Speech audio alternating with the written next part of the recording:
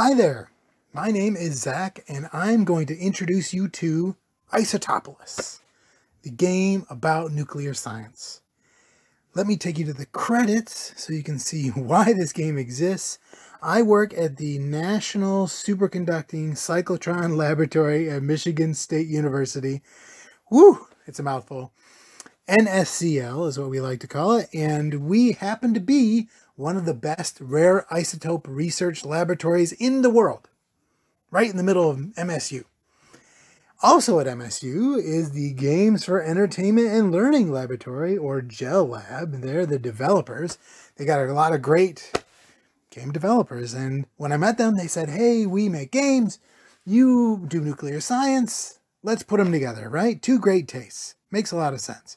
And I couldn't resist. So here we are. Now, it took a lot of funding. NSCL provided some of that. Also, the American Physical Society, the National Science Foundation, Joint Institute for Nuclear Astrophysics, and all these MSU offices that you see here. We put all our resources together and we made an awesome game. So, the game is about nuclear science. Like I said, what we have here is a model nucleus just hanging out. It has orangish protons and blue neutrons. That's what a real nucleus is made of anyway. So, this is what we're going to study, and the game is really about discovery. So, basically what you're looking at here is a giant grid. That's kind of the game board. And if you zoom out, there's a little, you know, zoom out button over here, little magnifying glass. You can see it's a crazy big grid of squares. And what we call this grid in nuclear science is the chart of the nuclides, which, I mean, if you've seen the periodic table, that's just a, you know, a list of all the different elements that we know. The chart of nuclides is, shows all the different kinds of nuclei that we know. So it's not just elements, it's all the different kinds. And in each of these boxes is a different kind of nucleus. Well, the box that we're looking at here, you can zoom in a little bit. The box we're looking at here, you can see there's a nucleus in there. I'll take you closer by clicking the little plus zoom in button. And it tells you what it is. Helium-6. That's what this is. It's got orange protons, blue neutrons. It's kind of shaky. You can probably see that. Look at this thing. It's shaking like crazy because it's an unstable radioactive nucleus. Now the number of protons, two, it's right there, two protons. That tells you that it's helium. That's what makes it the element helium.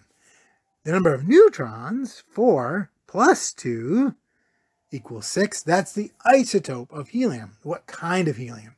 So that's all isotopes are, is just a version of an element. That's what it is.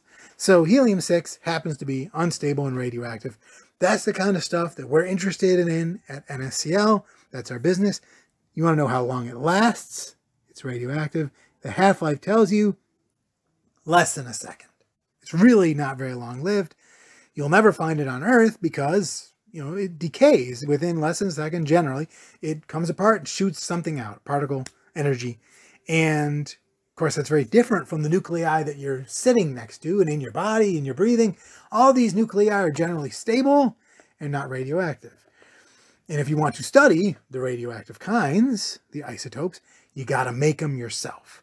That's what this game is about because that's what we do at NSCL, make and study rare radioactive isotopes. So the game is going to take us through the steps, the kinds of steps anyway, that NSCL really uses to make a nucleus that you won't find on Earth. That's our business. And at the bottom right here, you got this little play button. Let's play helium-6. The first step is called ionization. An atom, of course, has a nucleus and electrons. That's what's out here, these guys. The electrons are orbiting. We want to knock them off It's called ionization. If you can take them off, then you can accelerate the nucleus. Of course, you got to hit them. That's the game, right? Oh, I got it. So now that the electrons are removed, we're going to accelerate this nucleus down this pipe. And to steer, basically, you'll tap on the sides of the screen, and you're trying to steer your nucleus through the green gates. That's what's going to do the acceleration. If you miss a green gate it's going to slow you down. You see that? So you really want to steer through the green gates. You need to go fast with your nucleus because we are going to smash it. It's got to hit pretty hard. So if you want to make a rare radioactive isotope, go fast. That's what we're doing, which is what NSCL does. So now we're flying through this field of other nuclei, and we're going to break this one. In the first part of this phase, this basically just power-ups. You can see these kind of cube things. If you manage to go through a cube, you get a power-up, gets you more points. It's kind of nice. You don't have to, though. But it's not really until the second half of this, now, when everything kind of clears. Now we really need to hit this one into one of the others you see. Boom. I hit it. I broke it apart. Protons and neutrons are flying. In the last part, what you get to do is actually assemble the nucleus you're trying to make. Helium-6, in this case. Let me tell you something.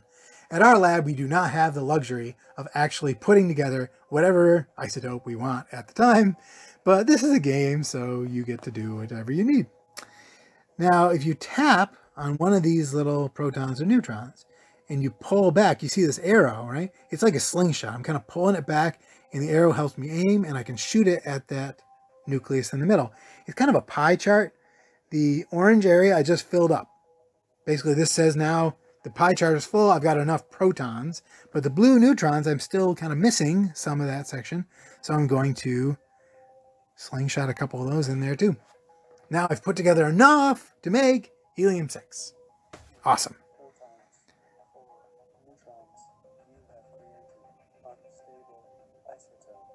They even tell you what you made. You can admire your handiwork here. If you click the big check mark, that'll take you out of the screen and into the scoring, which shows you basically the four different phases. There is ionization, acceleration, collision, and assembly. And this is the total score in the middle, but you can tap on any one of the phases to see how well you did, what you did well or not well. And, you know, it's uh, I didn't do so well on the last one, but hey, it's a tutorial. So if you tap on the total score there, it takes you back to the big chart. Okay, good job. I made helium-6. Now, this is the way the game really works. It's a discovery game, right? We make nuclei that don't exist on Earth. But we also discover entirely new ones, isotopes that nobody's ever seen before. If you look just above my helium-6 there, you see a little box that's just a little shaded in. That is the next level of the game. It is the next undiscovered isotope. And by discovering, you know, helium-6, now I can move on to that level. It's unlocked. Now, if I want to kind of look in at it, there you go, undiscovered. So I can play this one too, the big play button. And we go through the same stages, only they're going to get harder as we go up. There are now three electrons to hit. Oh, come on. There we go. Oh, I'm getting good at this. So I've ionized it. The, the nucleus is ready to accelerate. It goes down this pipe. I'm tapping on the sides of the screen to kind of steer it around the pipe into those green gates so I can accelerate, make it go really fast. Hit really hard. That is the goal of this game. But it's true in nuclear science, right? You got to break the nucleus to make isotopes you will not find on Earth. And I mean, we at the laboratory get nearly to this half the speed of light. You know, we hit things pretty hard. Now, let's go into the crashing like I said, there's these power-ups in the first part. You can try to hit something, hit one of these. Boy, that's really hard to see. So these cubes, it does some, ooh, there was a little speed boost there. That was fun. Let's see if I can get this one. Yep. Okay. Now I'm going to hit this nucleus. Boom! We call it fragmentation. Game calls it collision. And now I'm going to put these particles together. Let me show you a couple of tricks about this if you hit one, a particle into another one instead of the nucleus, you can actually make new things. Oop, see, look at this. Helium. Let's get this out of the way. I can take the helium and put it in. It has two protons, two neutrons, all comes together at once. That's actually faster. And now I've made lithium-7. Three protons, Four neutrons. Excellent. Let's go back to the score screen, see how we did. We're not trying very hard. But what's really interesting now is that after I get this score, I believe it's going to give me an upgrade. I can actually improve my game. There are some of these upgrades that are just for fun. You can change the color to red. So if you want to shoot your beam at the electrons to knock them off, you can make it a red beam. Awesome. You can add more time, give yourself more time to knock those electrons off when you're ionizing. Or when you're accelerating, you can make those green gates a little bigger so they're easier to go through. Sure. So you can pick ones that just make it pretty. You can pick ones that make it easier to play the game. There are some that make it harder to play the game, but give you a higher score. So you can choose. There's a lot of options. I will choose this upgrade and it's going to take me to the upgrade page. And you can see this one I've earned. I can turn it on. There you go. Now it's active. They have to be active in blue to work. So if you ever want to see what modifiers, that's what they call them really, what modifiers you have, that's this little three lines thing over here. And you go in and you can see, do I have any modifiers in the ionization? No, but I do have them in acceleration and it's turned on. There you go. So here's the deal. I made lithium 7. Now, this is new, you can see that. Next to lithium 7, there's a new, unlocked, undiscovered isotope, ready for me to play. That's the next level. There are many, many, many levels. Our laboratory and all the other labs on Earth, so far we have discovered over 3,000 different isotopes. So this will keep you busy if you're interested. I'm going to take you back to the menu. That's this little atom icon at the top right. And now I've finished 0.09% of the game. Excellent. Maybe you can beat that. So here's the deal. We made this game because we want you to know more about nuclear science, know more about what we do at Michigan State in NSCL. I hope you try this game out for yourself. It is free on iOS and Android devices. You can also play it through a browser. And if you want to learn more about this game or the laboratory, watch videos, kind of see a virtual tour of our laboratory, that kind of thing, all this stuff is collected at nscl.msu.edu slash public slash learning. I hope you'll check it out, and thanks for coming along with me.